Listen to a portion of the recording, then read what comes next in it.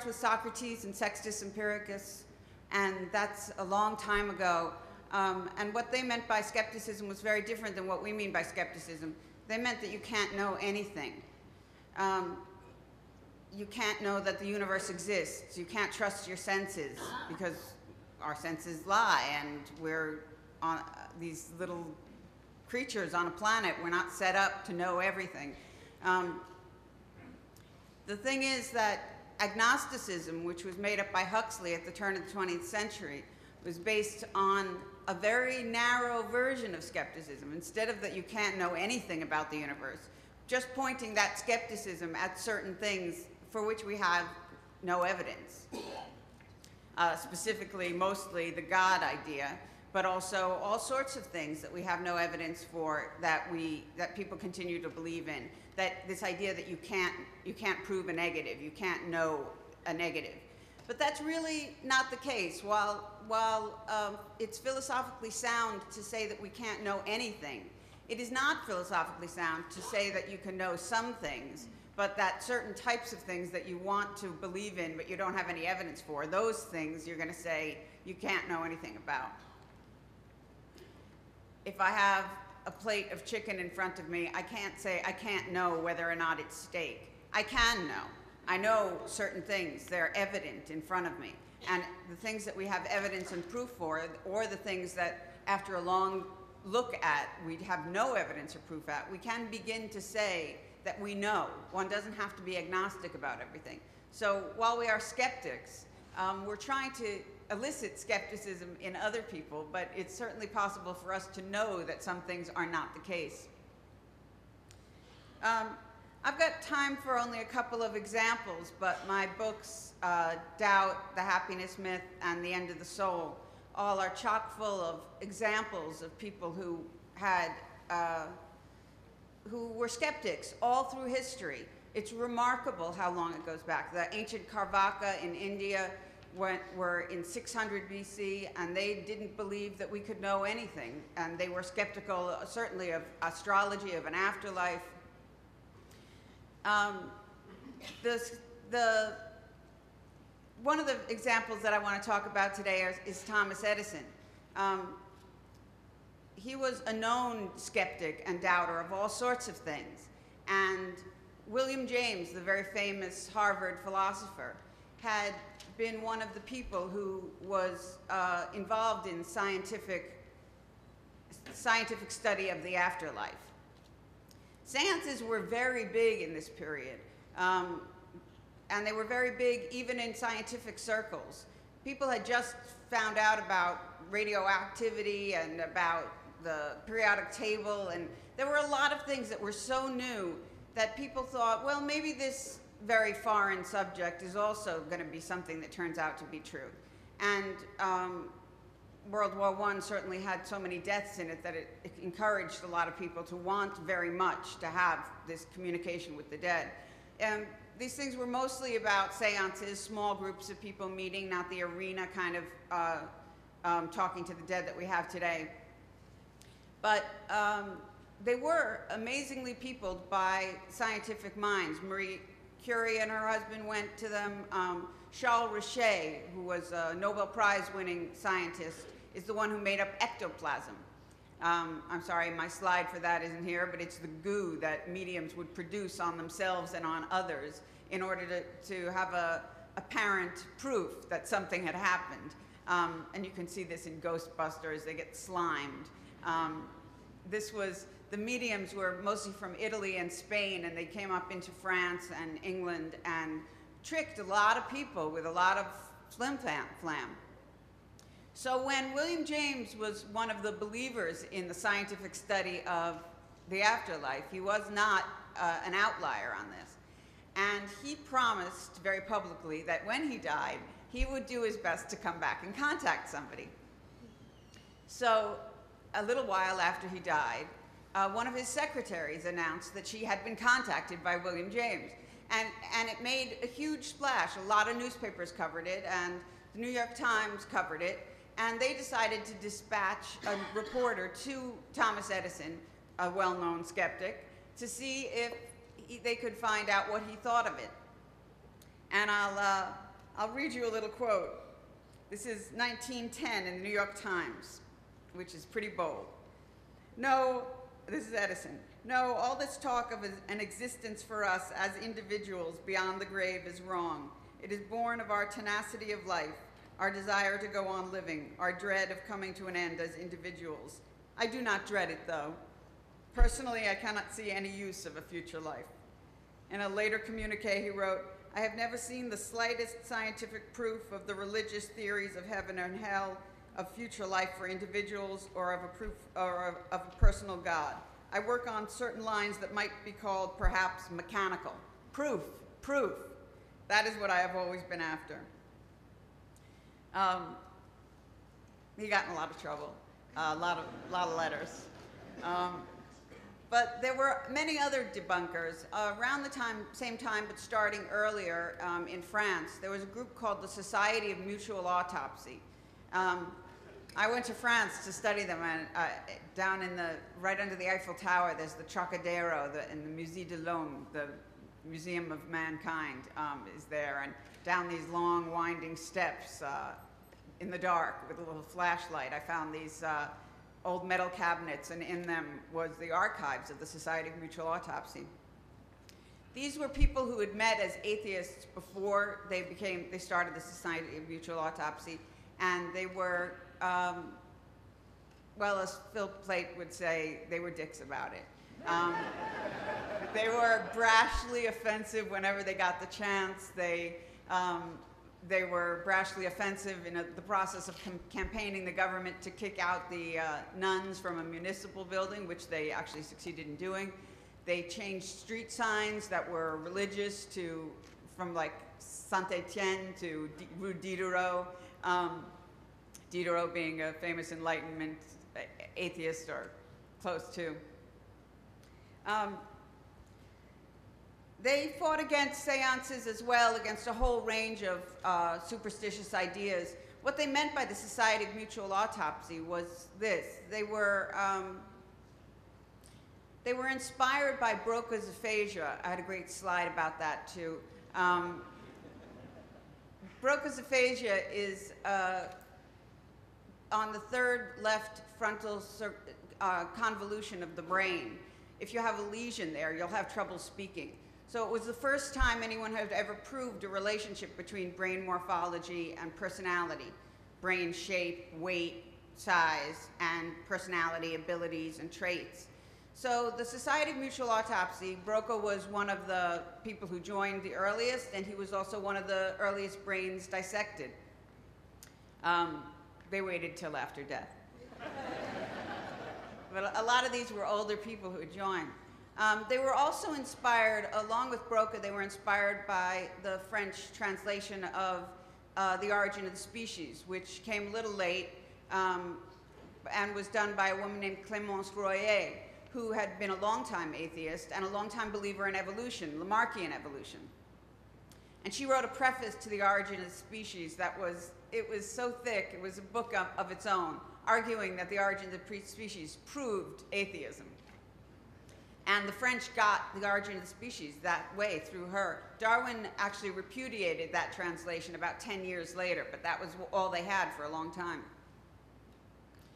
So inspired by both these people, they decided to start the Society of Mutual Autopsy, and they advertised in it in all the left-wing leaning journals. And hundreds of people all over France and some around the world joined the Society of Mutual Autopsy, and they sent in their, their uh, life stories because you had to be able to make a relationship between the abilities and the personality.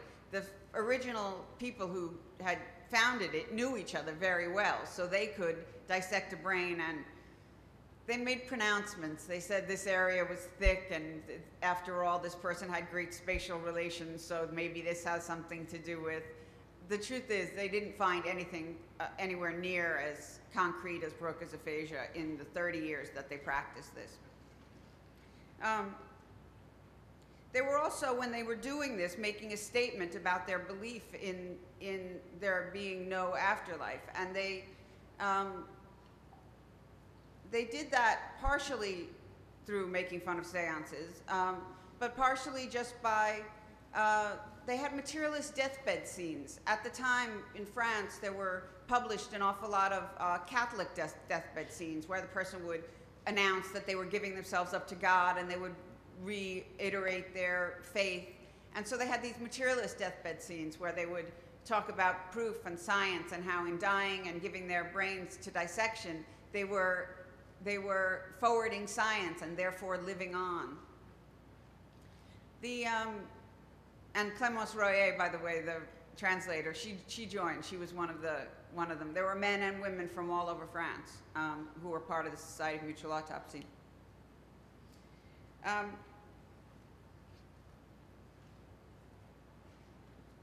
the reason they thought that this would prove to the Catholic Church that there was no soul was because at the time the definition of soul was really the thinking part of you. Um, the whole idea was that you that the, the meat was just a, uh, the seat of the brain, and the brain, the, the mind, was the soul. And so nowadays, that's just not what soul means anymore. They just keep swerving to fit the evidence a little bit.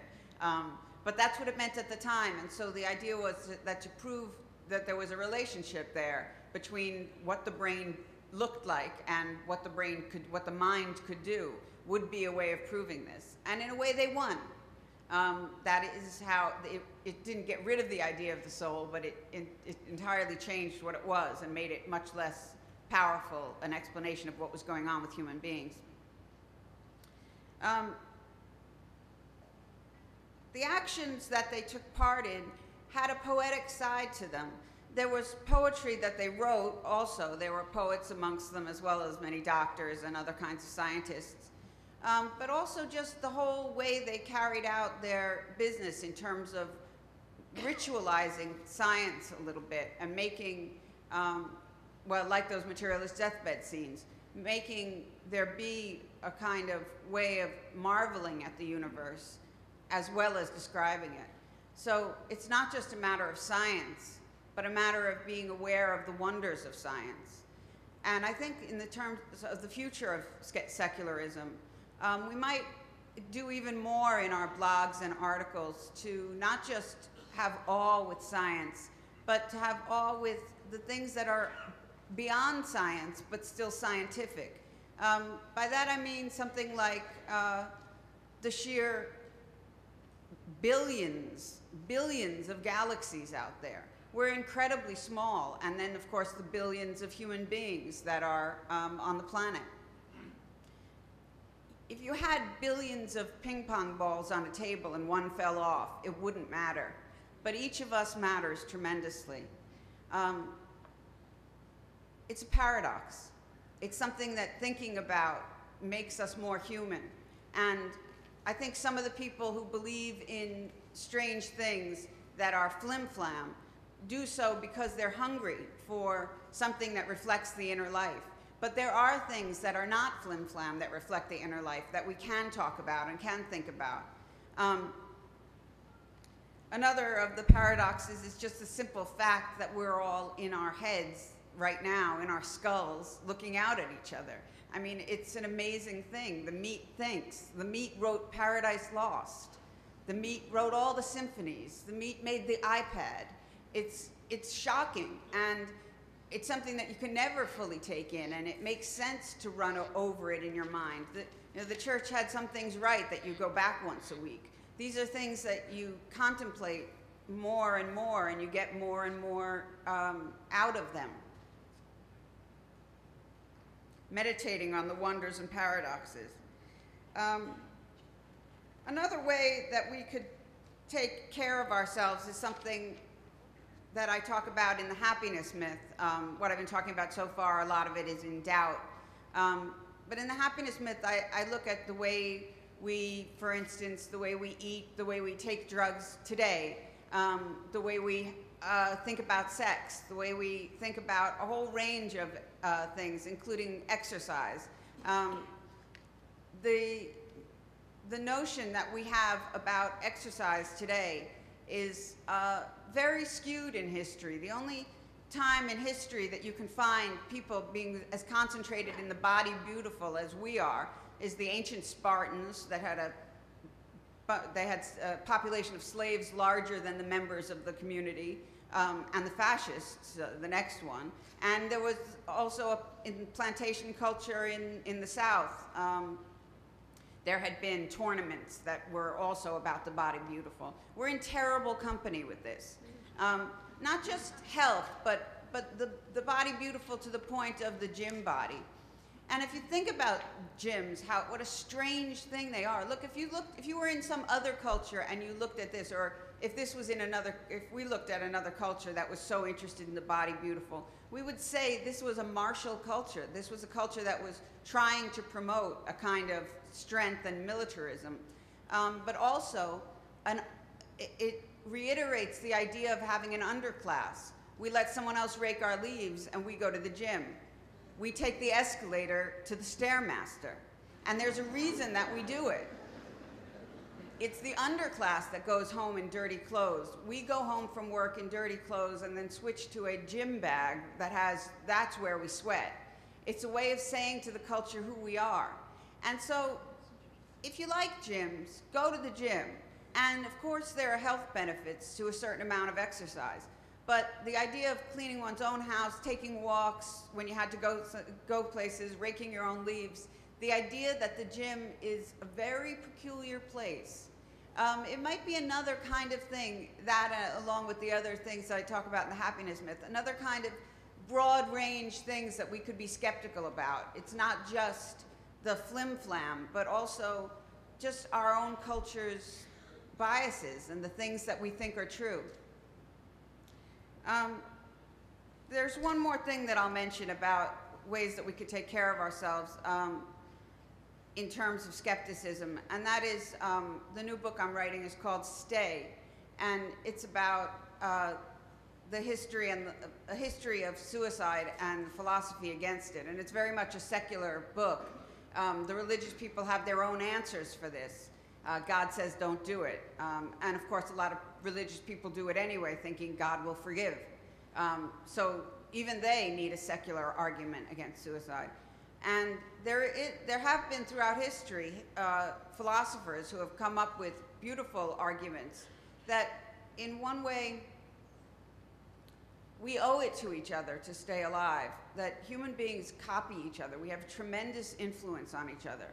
And suicide clusters show us that. The idea of staying alive for each other is a sort of strange one, and it seems in some ways taxing to the person. And I'm not talking about euthanasia at the end of life. That to me seems like man disease management. That's a different thing. But despair suicide. We have a, a, kind of live and let die attitude in the secular community about it. And I think it's a wrong turn that we took because religion was so adamantly against it to the point of punishing corpses um, and, and taking away the estate of the suicide. Um, so the secular community, before the Enlightenment, but then very much with the Enlightenment, Hume and uh, the Baron d'Holbach both wrote uh, what you could actually say are almost pro-suicide tracts that were very much against the church, but in no way looking at the situation in terms of humanism. Um, but what I was saying was that while it seems almost cruel to say to a person who's in that much despair, you have to stay, the truth is, as soon as you start to think about things that way, the community becomes a warmer place. You realize that staying alive, even, even sitting on your bed and crying or thinking about crying, and you don't even have the energy to cry, even that is a gift to the community. If you want your niece to stay alive through the dark times, you have to. And it becomes, the community becomes a richer place, a place that you have more of a connection to. And so I think the one thing that we're missing is gratitude. And so I'll say it here. Thank you for staying. Thank you for staying alive to anybody out there who's ever, who's ever thought about it. That's one of the things I want the book to do, to express gratitude and to recognize that it's a gift to the community and it's, it's a tremendous contribution um, by someone who thinks that they can make no contributions because they're at the end of their at the end of their rope. Um, I think I'm going to stop there and just say that these, um, looking at history, we can see a whole range from the ancient times to, to, to now. I mean, when I was writing Doubt, I thought I was just going to be seeing people who said no, no, no to religion and to superstition. And instead, I found people making suggestions about how we should live in that situation. Um, and that's what I think the future of skepticism needs to have. We need to know our history, and knowing our history will enrich who we are today and who we can be. Um, thank you.